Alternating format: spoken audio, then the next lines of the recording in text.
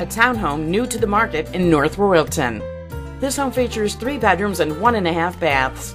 The living room has carpeting. The kitchen offers an eating area and all the appliances are included. The formal dining room is large enough to accommodate seven people.